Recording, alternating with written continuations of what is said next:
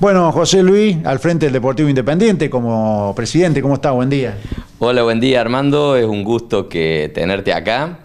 Y sí, bueno, una nueva etapa de mi vida eh, en la parte deportiva, ¿no es cierto? Si bien uno hace muchos años que te ha integrado al, deporte y especialmente en el club independiente, pero ahora mm, hemos llegado a un acuerdo ahí en el club donde voy a conducir este grupo de trabajo. Bueno, ¿cómo está el club en condiciones generales? Bueno, en condiciones generales está bien. Eh, gracias a Dios tenemos un grupo importante de trabajo, que eso es lo, más importante para nosotros. Eh, venimos trabajando con un cuerpo técnico eh, de todas las categorías también ya constante de hace mucho tiempo. hoy el club tiene 252 chicos y lo más importante es que se le está haciendo mucha inclusión al tema de la parte del fútbol femenino. Mm. Eh, ya hay 100 pibas trabajando en el club, que es muchísimo, y bueno, a nosotros nos da un plus porque estamos siendo pioneros en, el tema del fútbol femenino y en la inclusión del fútbol femenino en el, en el deporte, ¿no es cierto? ¿Es obligación por ahí los chicos ser socio del club, aquel que practica la disciplina o no? Mira, el club nuestro no es, por la condición social, nosotros no captamos eh, eh, clases sociales más pudientes y nosotros hacemos mucha contención social y es un club de fútbol únicamente. Entonces unificamos las cuotas, eh, tenemos una sola cuota que es la cuota del club eh, con algunas becas en los casos que no, pueden, los papás no pueden pagar la cuota, ¿no es cierto? Pero eh, es una situación difícil, el contexto social está muy difícil y dentro de eso tratamos de adecuarnos para que, que nos cierren los presupuestos. Eh, pero está difícil el contexto social, no obligamos cuota social. al nombrarte los padres, que por ahí también hay que trabajar con ellos, especialmente en el fútbol infantil, ¿no? Que tienen mucho que ver los dirigentes, contenerlos. Mira, primero creo que tenemos que empezar por los dirigentes.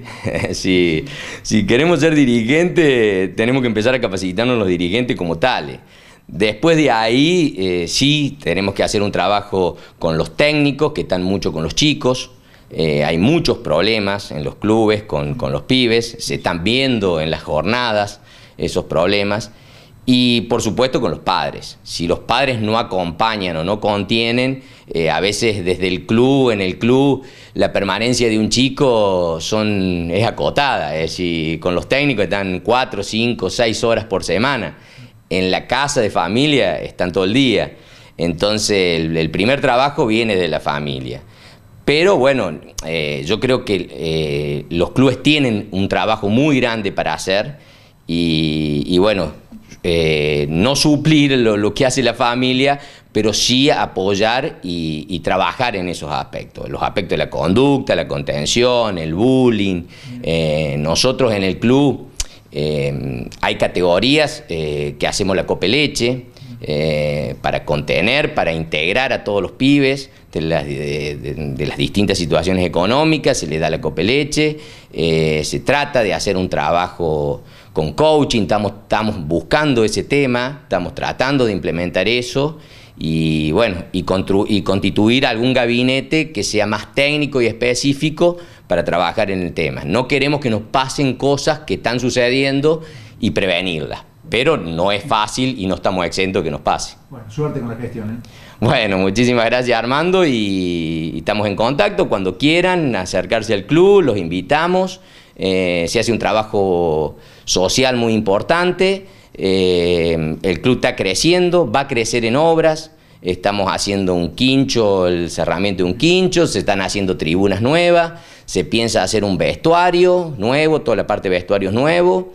Eh, seguramente vamos a ver si podemos hacer algunas cabinas para los periodistas que nos hace falta en el club porque a veces van y transmiten y no tienen un lugar donde transmitir.